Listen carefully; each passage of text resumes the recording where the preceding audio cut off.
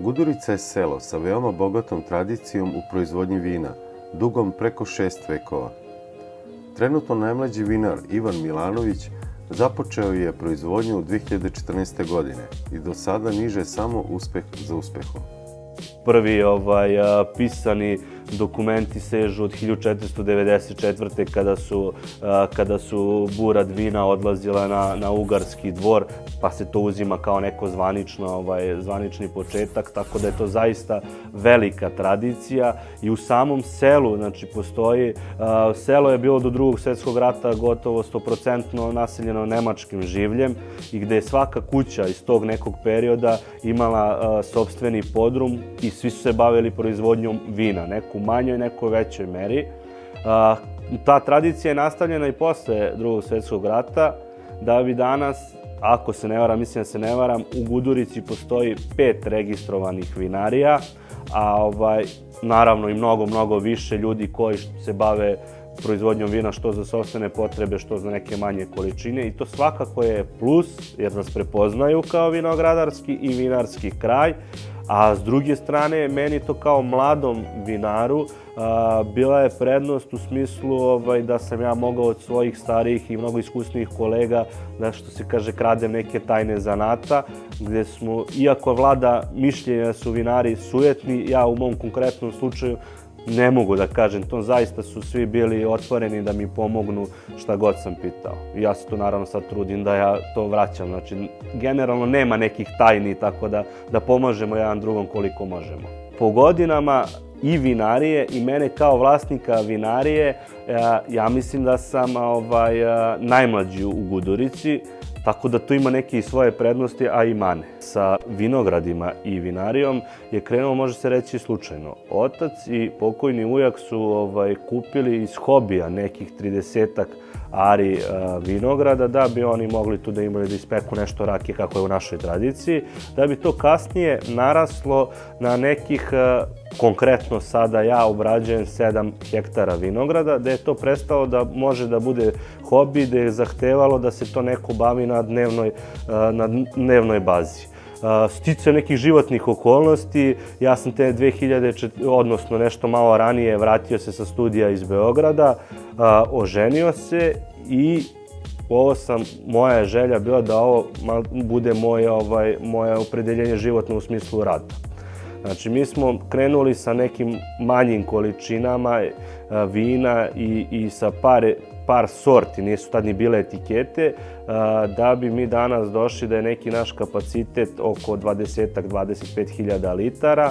Imamo sedam etiketa i to za sada vrlo dobro funkcioniše. Sva, sva ovaj sirovina dolazi iz sobstvenih zasada, što mislim da je, da je velika prednost, jer ja, kao što znamo, vino se pre svega pravi u vinogradu, gde ja mogu odrediti šta meni ovaj, treba da bi to vino bilo kako ja želim. Najbolja reklama čini neko moje iskustvo u neposrednom a, kontaktu sa, sa našim potrošačima, gde se razmije neka i mišljenja, nekom se naravno nešto svidi, nekom se ne svidi, pa mi probamo i da korigujemo nešto, tu nas upoznaje dosta ljudi i, i to nam je jedan od značajnijih kanala prodaje gde se ljudi upoznaju po tim manifestacijama s našim vinom i kasnije ovaj a, naravno svi imamo sada i, i telefone i face stranicu i mail i, i web stranicu gde nas kasnije ljudi kontaktiraju i žele da poruče naša vina koje mi naravno šaljemo.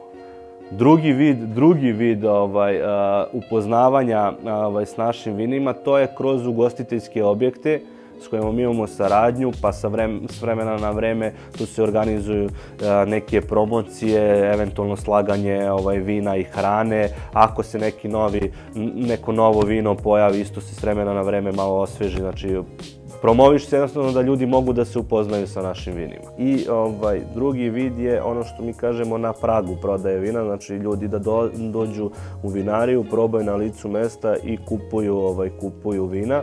U ja se nadam s proleće ćemo uspeti do, do kraja da da ovaj da završimo degustacionu salu gde će moći znači, u pravom ambijentu i u sklopu vinarije da se probaju. Mi ovaj, imamo od suvih vina belih, gde imamo i do, ja imam još samo polusuva, znači nemam dezertna vina, ali ta polusuva su konkretno Traminac koji je možda najprepoznatljiviji naš brend po kojem nas manje više i vezuju, koje je sam po sebi sortna karakteristika tog vina je da je ono aromatično, da je onda ona može da ide i kasnije uz neki dezert. Naravno crvena vina koja su robustnija, a, kao što imamo kupažu Cabernet Sauvignona i Merloa, oni ovaj, ljudi pitaju klasično pitanje da li ovo crveno vino može da ide uz neko pečenje i praseće, jagnjeće, naravno da može.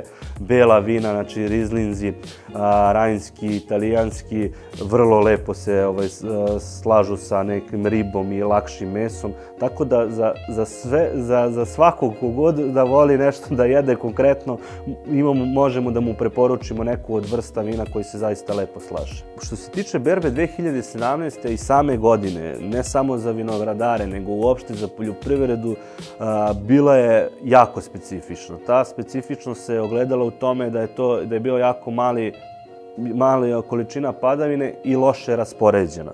Tako da to može da se, da se kaže da je, da, da, da je bila i elementarna nepogoda u smislu suše. A, u vinogradima se to odrazilo u smislu manje, manjeg, manjeg prinosa koji se kod mene negde dolazi do 20% da je manje od neke nor, nazovi normalne godine, ali je a, kvalitet grožđa zaista bio dobar nije bilo bolesti u vinogradima, što je jako bitno. Bio je malo poviše, naravno, ovaj, nivo šećera, procenat šećera u grožđu, što je moglo da se, da napravi neki problem u fermentaciji vina i tako dalje. Ali za sada, evo sad smo već u decembru, znači već su mlada vina koja su u fazi bistrenja a, ovaj, i zaista imaju dobar potencijal. A, naročito ovde konkretno kod mene, znači aroma, vina sa izraženom aromatikom, znači Sauvignon Blanc, Traminac i Muscato Tonel imaju jako lepu perspektivu. Ja se nadam da ću uspeti da ih privedem, do, da, da očuvam to, da zaista izvedemo da to budu, ovaj, budu dobra vina do kraja.